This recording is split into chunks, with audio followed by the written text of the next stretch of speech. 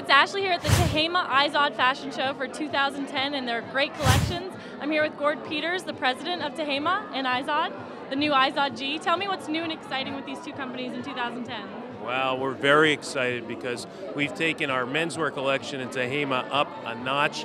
We're giving pro shops the opportunity to get specialty items into their stores so they can get their customers buying more product Yeah. and the type of product that they're used to buying elsewhere, but now in the pro shop. So we're really excited. Can you tell me, in your opinion, like what makes your style a little bit different from the other brands? What's out there between Izod and Tehama?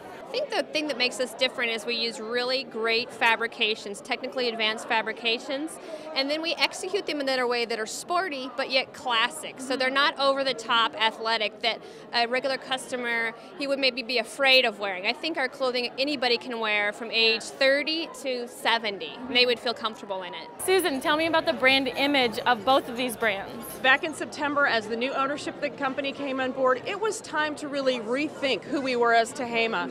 And we had an amazing su- success in our early years with a very traditional product.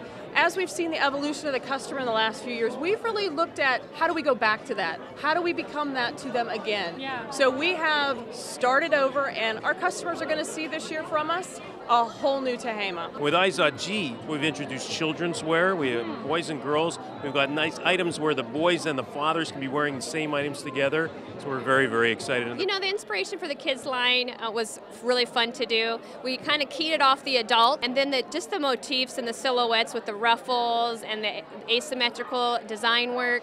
It was just really fun to do. The do. kids looked and obviously Yes. felt cool in the line, They so did. the Izod G for the kids is a great, Uh-huh.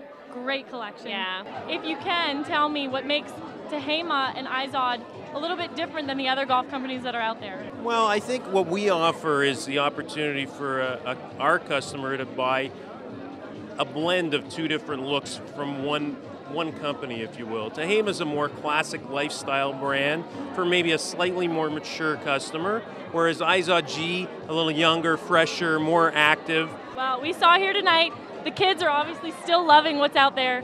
Izod and Tehama 2010, it's a great collection. Check it out. Thanks so much.